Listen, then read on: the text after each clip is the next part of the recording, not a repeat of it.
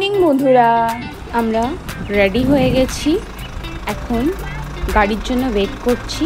গাড়ি এলেই আমরা বেরিয়ে যাব। ডেস্টিনেশনের পথে। ওই রাস্তাগুলো দিয়ে আমরা শাহরান এসছি শাহরাহান থেকে সাংলা যাওয়ার রাস্তার বিউটিটা আরও বেশি সুন্দর। সাংলা হচ্ছে একটা ছোট্ট টাউন বাষ্প ভ্যালিতে এটাকে সাংলা ভ্যালিও বলে। এটা হচ্ছে হিমাচলের কিন্নর ডিস্ট্রিক্টে এটা হচ্ছে টিবেটিয়ান বর্ডারের খুব কাছে। আজ পুরো পরিষ্কার আকাশ পারফেক্ট সানি ওয়েদার যেটাকে বলে এক্স্যাক্টলি সেটা। বরফের পাহাড়, সাথে ক্লিয়ার স্কাই মানে সানি ওয়েদার তার সাথে মেঘগুলো ভেসে ভেসে আসছে, দারুণ কম্বিনেশন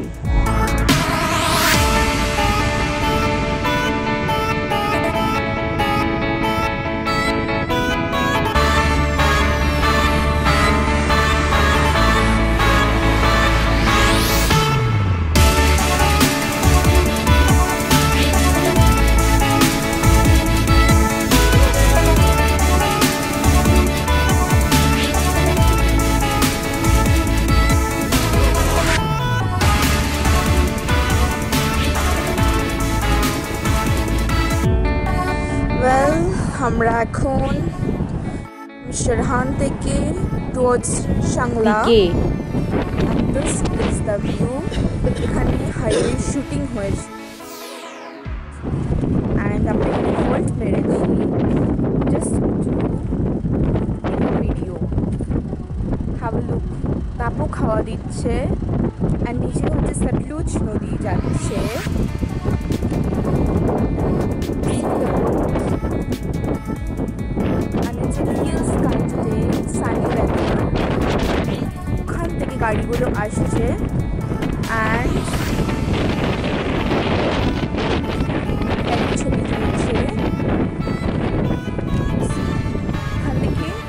মানে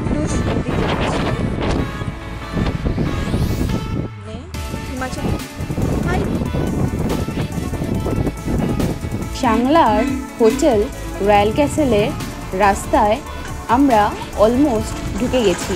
মানে হোটেলে পৌঁছতে আর বেশিক্ষণ সময় লাগবে না। এটা হচ্ছে পুরো আপেল বাগান। পুরোটাই আপেল বাগান।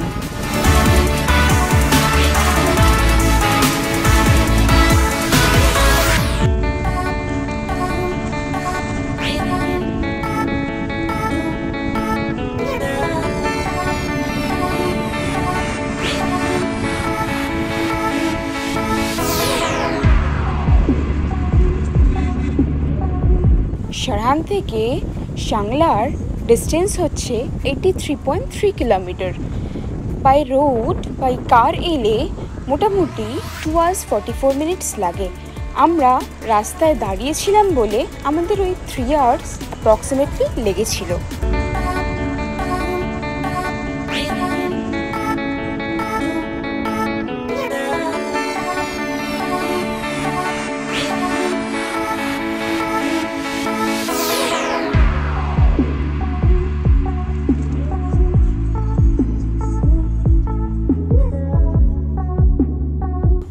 সাংলার হোটেল রয়্যাল ক্যাসেলে পৌঁছে গেছি।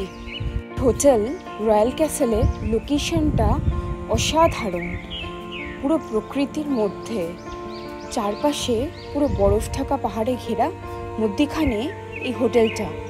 আর নিচে সব জায়গায় আপেলের বাগান, চারিদিকে আপেল বাগান। যদিও অ্যাপেল সিজন শুরু হয় সেপ্টেম্বরের এন্ড থেকে, কিন্তু যখন আমি গেছি তখন অ্যাপেল সিজন ছিল না। এটা হচ্ছে সাংলার হোটেল রয়্যাল ক্যাসেল। চলো তোমাদের রুমটা দেখাই। আমাদের রুমটা। এটা আমাদের বেড, তিনটে বেড দিয়েছে। কেন দিয়েছে এত বেড জানি না। একটা হিটারও দেবে বলেছে। এখানে খুব ঠান্ডা তো, তাই হিটারটা খুব দরকারি। এখন দেখাচ্ছে হচ্ছে আমাদের রুমের ভিউটা এই এই দেখো। এখানে হচ্ছে আরেকটা বরফের পাহাড়। এই দেখো। এটা হচ্ছে পুরো অ্যাপল অর্চার্ড। হ্যালো। এখন আমি ব্যালকনির ভিউটা দেখাবো। প্যাটি পিছনে কি করছে কি জানি? এটা হচ্ছে আমাদের ব্যালকনিটা। যদিও এটা পুচকে ব্যালকনি কিন্তু খুব সুন্দর। পাশে মাম্মা ওই একই শাড়ি পরে দাঁড়িয়ে আছে। তিন দিন ধরে এক শাড়ি পরে যাচ্ছে মাম্মা। তো গাড়ি এসছে। তার মানে কত টুরিস্ট এসছে এখানে বেড়াতে? আমাদের হোটেলের ব্যালকনির ভিউটা চারিদিকে বরফের পাহাড় মধ্যিখানে এই হোটেলটা। আর আশেপাশে পুরো আপেল বাগানে ভর্তি।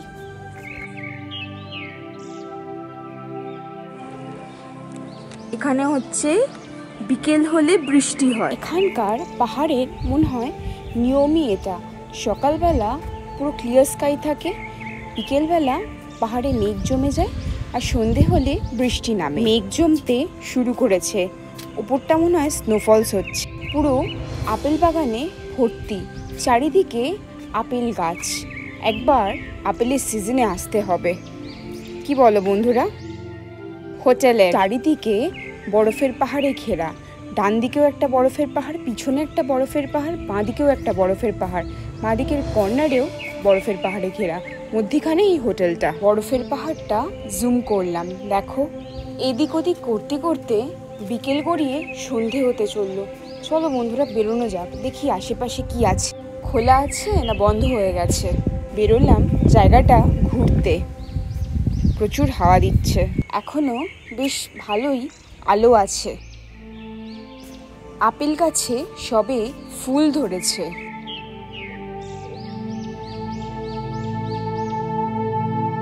সন্ধে নামতে শুরু করেছে, আলো কমতে শুরু করেছে। বেশি দূর মনে হয় না যেতে পারব বলে, কারণ এখানে, এখানেও বেসিক্যালি খুব তাড়াতাড়ি মার্কেট বন্ধ হয়ে যায়। দিনের শেষ আলোতেও বরফ ঢাকা পাহাড়গুলোর রূপ ফেটে পড়ছে। খুব সুন্দর দেখতে লাগছে। এখানে পাহাড়ি রাস্তায় খুব একটা ল্যাম্প নেই আর এখানে গ্রামও নেই সেরকম যে আলো দেখা যাবে। জায়গাটা যেহেতু প্রকৃতির মধ্যে রাত হলেই ফাঁকা ফাঁকা হয়ে যায় আর নিস্তব্ধ হয়ে যায়। বেশ ভালো লাগে। বন্ধুরা আজকে এই পর্যন্তই থাক। কালকে আমরা এখান থেকে সকাল সকাল বেরিয়ে ছিটকুল যাব। দেখা হবে আবার কালকে।